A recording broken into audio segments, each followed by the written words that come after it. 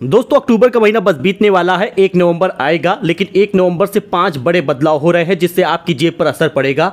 ये पाँच बदलाव से तो आपकी जेब पर असर पड़ेगा, लेकिन कई ऐसे बदलाव हैं, जिससे आपको फ़ायदा भी मिलेगा। दोस्तों, देश में हर महीने पहली तारीख को कई बड़े बदलाव होते हैं। ये बदलाव सीधा आदमी की जेब पर असर डालते हैं। अक्टूबर का महीना खत्म होने वाला है, इसके बाद एक नवंबर आएगा, और एक नवंबर से आपको कई बड़े बदलाव देखने को मिलेंगे। इनका सीधा असर आपके घर के बजट पर होगा। हर महीने की पहली तारीख को गैस की कीमत भी तय होती है तो इस बार भी गैस कीमत तय होगी। बहुत सारे लोग कह रहे हैं कि लोकसभा का चुनाव है।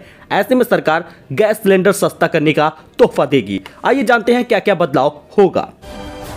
दोस्तों, हर महीने की पहली तारीख को गैस सिलेंडर सीएनजी और पीएनजी की कीमतें तय होती है। हर महीने की पहली तारीख को नई कीमतों का ऐलान होता है। ऐसा भी हो सकता है कि सरकार कीमतों में बदलाव न करे। फ़िलहाल, जिस प्रकार से लोकसभा का चुनाव आने वाला है, और सरकार लगातार तोहफे दे रही है गैस सिलेंडर का, चाहे वो सब्सिडी के रूप में हो, सरकार आपको भी फ़ायदा दे सकती है। आम आदमी को लगभग सौ रुपए तक की छूट मिल सकती है। जहाँ कॉमर्शियल गैस सिलेंडर दो सौ रुपए तक सस्ता हो सकता है, वहीं पर घरेलू गैस सिलेंडर पचास रुपए तक सस्ता करने का ऐलान हो सकता है। जी हाँ आपको बता दें एक नवंबर से गैस कीमत में बड़ा बदलाव देखने को मिलेगा।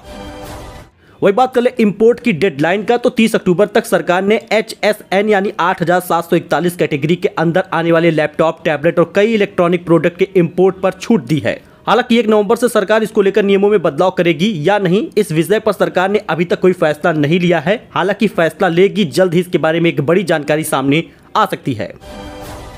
वही लेन देन को लेकर भी शुल्क के बारे में एक बड़ी जानकारी आ गई है। बॉम्बे स्टॉक एक्सचेंज यानी बीएससी ने बीते 20 अक्टूबर को ऐलान किया था कि वह एक नवंबर से इक्विटी डेरिवेटिव सेगमेंट पर लेन देन शुल्क बढ़ाएगा। ये बदलाव S N D P B S S Sensex option पर लगाए जाएँगे। लेन देन की लागत बढ़ाने से व्यापारियों में इसमें भी विशेषकर खुदरा निवेशकों को नकारात्मक असर पड़ सकता है।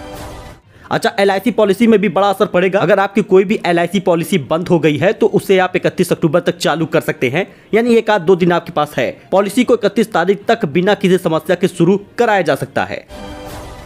वही दोस्तों, आपको बता दें, सरकार लैपटॉप और टैबलेट, स्मार्टफ़ोन भी बांटेगी इसी नवंबर महीने में। और इसी नवंबर महीने में आपको एक और तोहफा मिलेगा, फ्री गैस सिलेंडर का। जो योगी सरकार देगी। यानी ये त्योहारी सीज़न है गैस सिलेंडर आपको फ्री मिलेगा, जिसका पैसा सरकार आपके खाते में धनतेरस से पहले तक डालेगी। वहीं पर अगर आप यूपी के रहने वाले हैं, अगर आप यूपी में पढ़ते हैं, छात्र हैं, बारहवीं पास कर लिए हैं तो आपको टैबलेट और स्मार्टफ़ोन सरकार वितरण करेगी। लगभग 40 लाख लोगों को टैबलेट स्मार्टफ़ोन का जो वादा है, वो पूरा होगा। इसी नवंबर के आखिरी सप्ताह तक आपसे आवेदन भी मांगे जाएँगे। यानी योगी सरकार की तरफ़ से कई वादे पूरे हो सकते हैं, जो उन्होंने किए थे गैस सिलेंडर से लेकर फ्री टैबलेट स्मार्ट फ़ोन तक का। हालाँकि गैस सिलेंडर आपको सस्ता मिलेगा या नहीं, इसके बारे में एक नवंबर को ही डेट कन्फर्म हो पाएगी। तो फ़िलहाल के लिए इतना ही, मिलते हैं नए अपडेट में एक नई जानकारी के साथ। धन्यवाद।